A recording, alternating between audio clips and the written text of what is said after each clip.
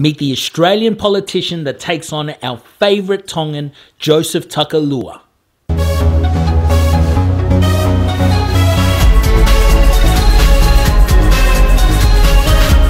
What's up, everybody? Welcome to Poly Planet. It's your boy B Brown reporting to you once again for another weekly video.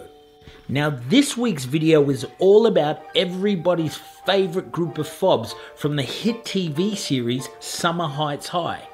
Australian comedian Chris Lilley is the creator of Summer Heights High, who also plays the hilarious character of the Tongan high school schoolboy, Jonah Takalua. So that's not, if that's being disruptive, then fuck you. That's not disruptive, that's entertainment. I'm just getting the worksheet, miss. Let me do some Do work it for once. Quietly, thank you. I'm doing it quietly. There you go, homo. In this show, Jonah is a leader of his all fob, all poly, all breakdancing crew who wreak havoc on their teachers and fellow students whilst being completely politically incorrect along the way. Over there now. Fuck you, miss. Beg your pardon? I said fuck you with a P. Now, Chris Lilley isn't a Polynesian himself, but he absolutely nails his role as this cheeky Tongan schoolboy growing up in Australia. I like what you're wearing, miss. Looks nice on you. Is that from Jonah, Suzanne? what did you- Now, it's unknown exactly where Chris Lilley gets his inspiration for this character, but the large Tongan and Polynesian communities in Sydney, Brisbane, and Melbourne may have something to do with it.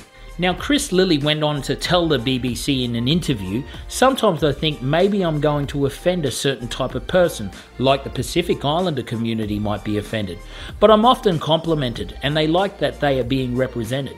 Summer Heights High character Jonah Takalua became so popular with audiences, Lilley decided to respawn the character of Jonah with its own standalone series, Jonah from Tonga. Try and pull us apart, you see. Nothing breaks. Oh, shit. I'm not a takalua.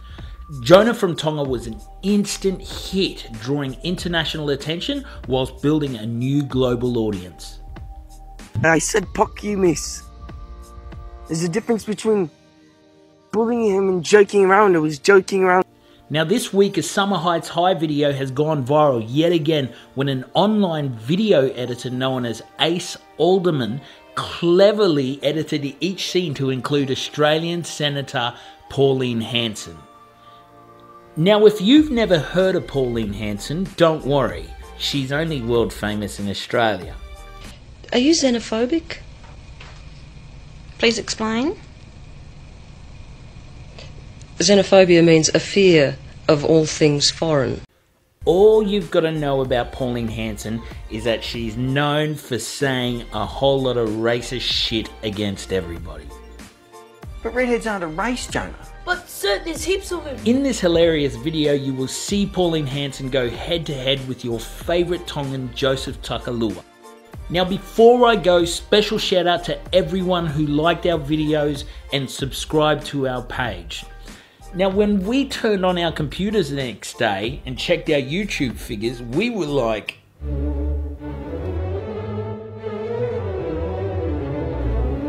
we could not believe the love that you guys were showing us. So then we were like, once again, thank you everybody. Don't forget to smash that like button, subscribe to our page, and of course, please comment. I'm B Brown signing out for Poly Planet. Hope you enjoy your video. See you next time. Peace.